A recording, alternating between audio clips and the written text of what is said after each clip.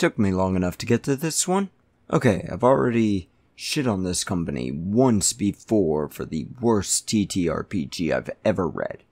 And now I'm gonna talk some praises about the same company, R. Talsorian Games, Cyberpunk Red.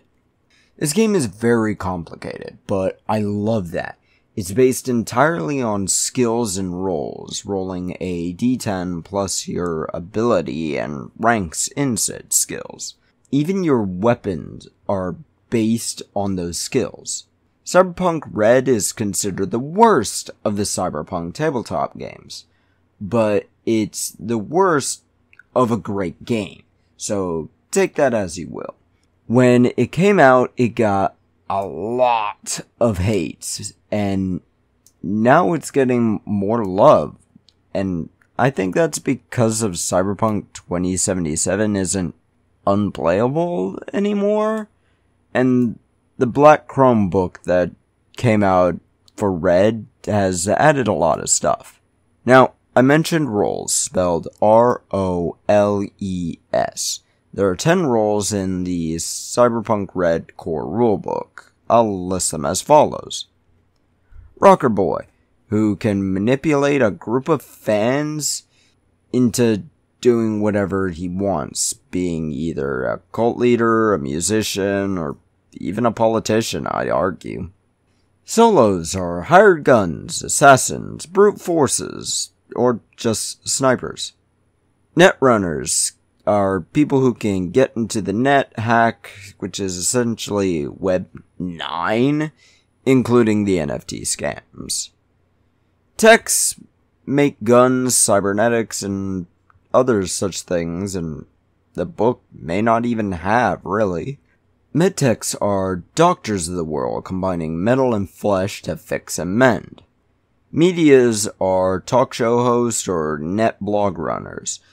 These guys always have a connection to someone important.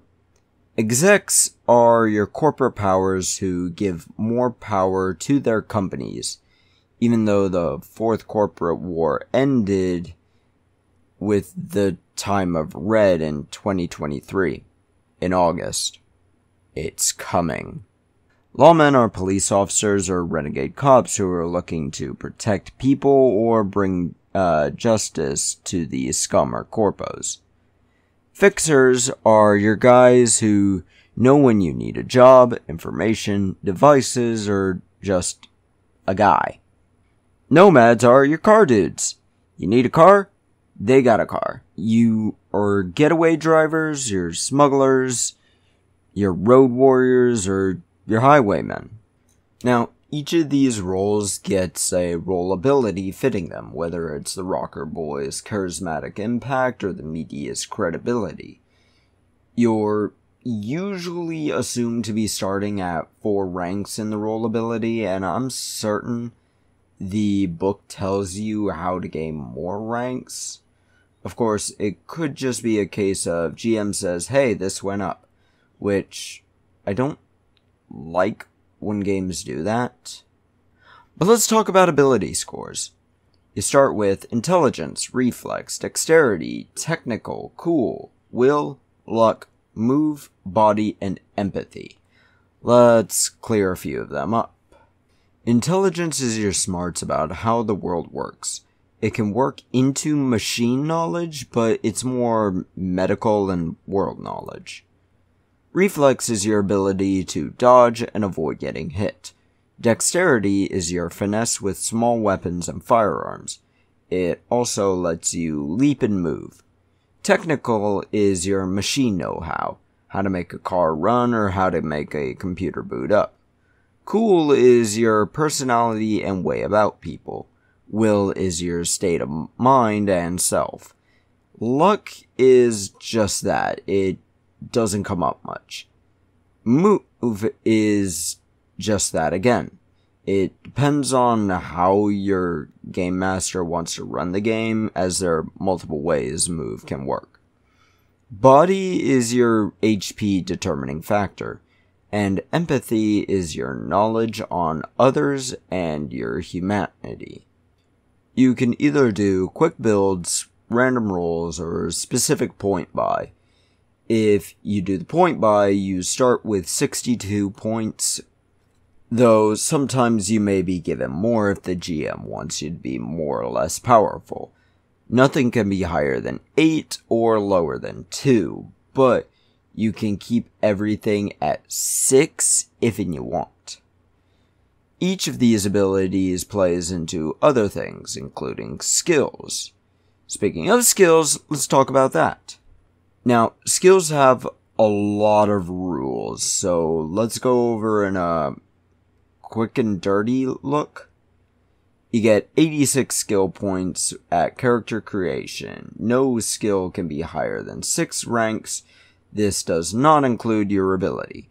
Some skills must be at least 2, and you have to spend points on these. These skills are athletics, brawling, concentration, conversation, education, evasion, first aid, human perception, language street slang, local expert your home, perception, persuasion, and stealth.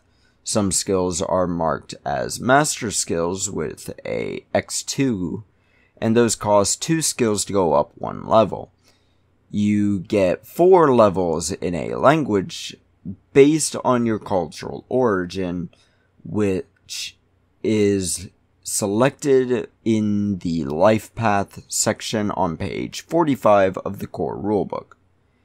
Now, how many skills are there? Boy, howdy, a lot.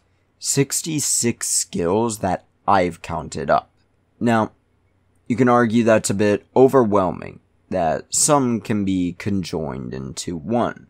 For example, handgun, shoulder arms, and heavy weapons and auto fire. A lot of those you can argue are one and the same. But at the same time, the fact that they are different means you can hyper specialize, which is something I prefer to be honest. Now let's talk about gear real quick.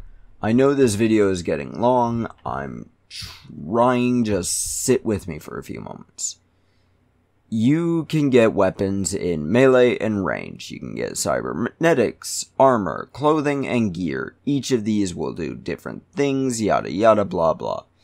Melee and ranged weapons are fairly obvious, but some have requirements of certain ability scores and skills. Cybernetics are things you'll probably be spending most of your money on, as the world revolves around them.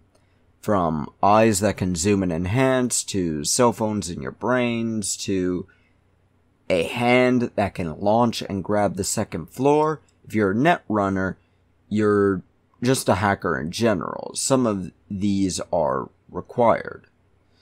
You, but do be careful as too many cybernetics can turn you into a cyber psycho breaking your humanity and making you hand the GM your character sheet. Therapy helps with these, just as it helps in real life. Armor doesn't exactly prevent damage, or prevent you from taking hits. Only your evasion does that. What armor does is it reduces the amount of damage you take. Clothing is more for manipulating people as it can help with showing off your capabilities, what you have. It can help you get in with certain crowds too. And gear can often be replaced by cybernetics, like that brain phone I said earlier. But they won't churn you crazy, but they can get broken or stolen. Now there's still a lot I can go over, and that's part of the issue with it. There's almost too much somehow and nothing at all in the core rulebook, which is a weird contradiction. RTG has an issue where they sometimes forget to put information you absolutely need and often just say, uh, figure it out and give no examples of how something can be used. But on the other hand, they get really specific with, say, humanity and HP. Honestly, I gotta admit, it's not great, but I like it. especially how you can make a whole campaign with absolutely zero combat. I'll give this game a 79%. Too much of some things and not enough detail just randomly, but allows an insane amount of customization, which I absolutely think is fantastic from both a player level and a game master level. But that's my opinion on Cyberpunk Red. Now, shove off.